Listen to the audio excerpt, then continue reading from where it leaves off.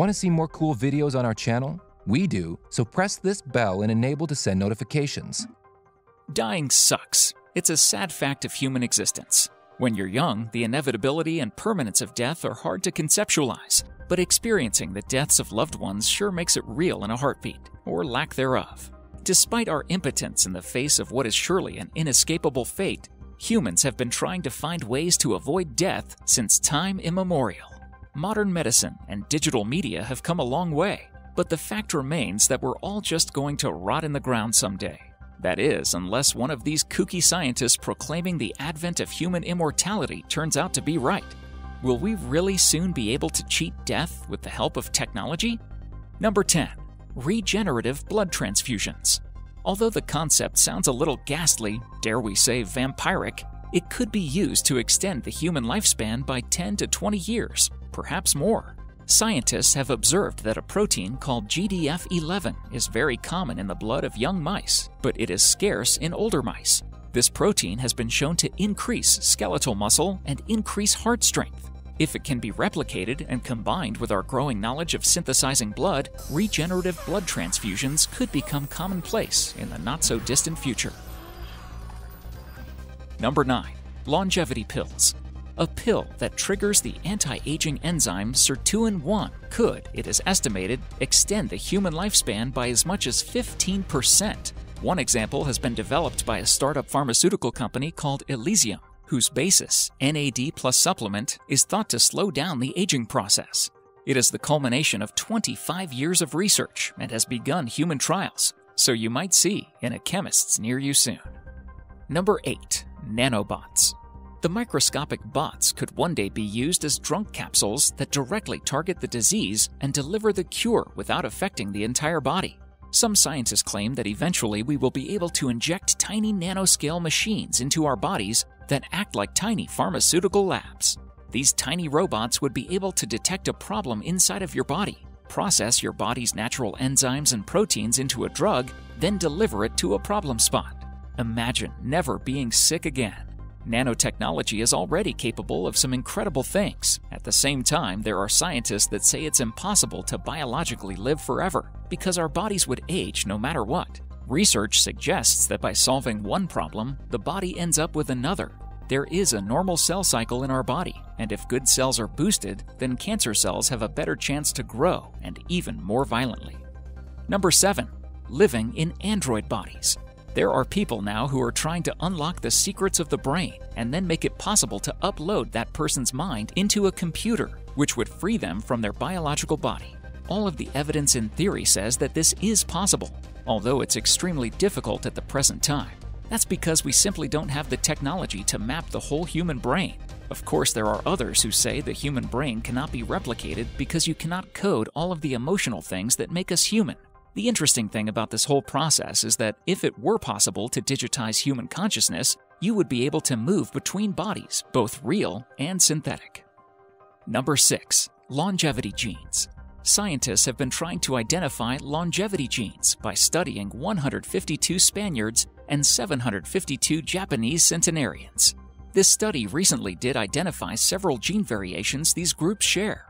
This is also supported by other work using gene therapy on yeast involving the protein ISW2. This showed that lifespans could be extended by 25% using this sort of technique. Number 5. Cryonics.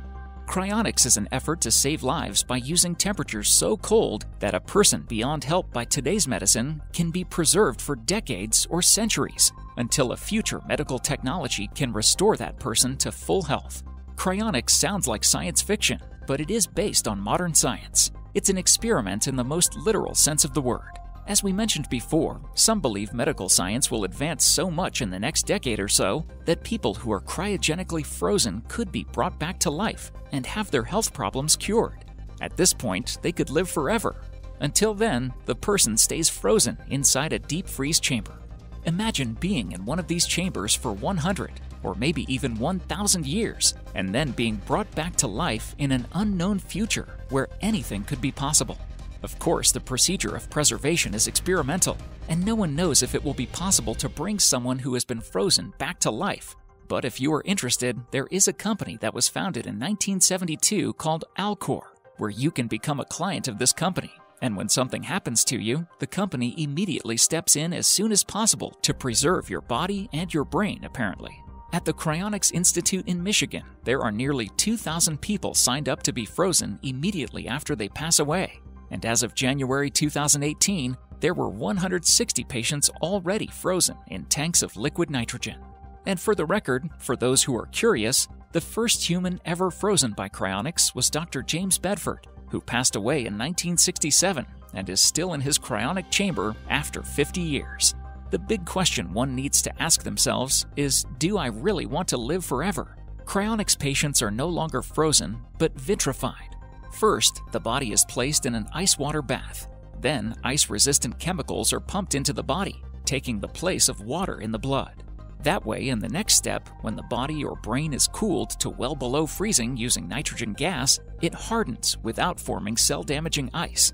Vitrification has been used effectively to preserve blood, stem cells, and semen, but restoring life to a vitrified human or to an organ as complex as the brain remains an unfathomably distant prospect.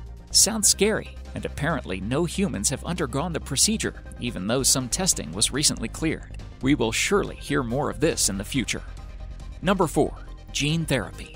Studies have shown that if gene therapy can induce cells to express telomerase, it can slow down the biological clock.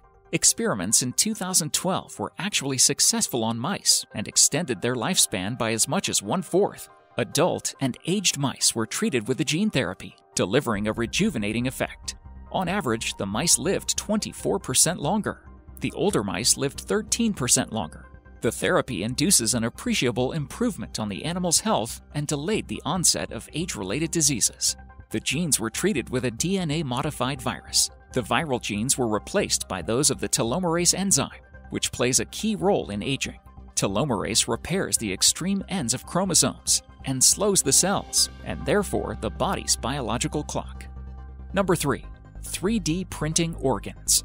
3D printing is developing incredibly fast and could soon be used to routinely print replacement body parts, like the human heart. Advancements have been made very recently by a UK team successfully printing replacement corneas and is helping push this technique forward. If this technique could be extended to using fat and collagen to print new hearts, this could add decades to donors' lives. Number 2. Cloning organs. And finally, in our list of theories and technologies that could extend our lives is an alternative to printing organs cloning. Cloning is not a new technology, but it could be used to grow new parts of your own body. Scientists have already been able to grow body parts like ears, bone, and skin, and once perfected for more complex organs, it will be used indefinitely to extend someone's life. Number 1. Artificial Intelligence. Ray Kurzweil, a futurist who is currently working on the Google's machine learning project, predicts that by 2029, humans will be extending their lives considerably or even indefinitely. He said we could enhance the human brain and give ourselves a godlike ability by implanting tiny robots that connects to cloud-based computer networks. The National Science Foundation gave about half a million dollars to the universities of Central Orlando and Illinois at Chicago to support researchers who are working to discover how they can use artificial intelligence, computer imaging, and archiving to generate a duplicate version of real people. SpaceX and Tesla CEO Elon Musk, who has been constantly in the news explaining how AI is going to destroy the world, is even backing a brain computer interface called Neuralink. This company is still in its earliest stage, though, and has very little public presence. Neuralink is focused on creating devices that can be implanted into the human brain to allow humans to improve their memory and to have a more direct interfacing with computer devices.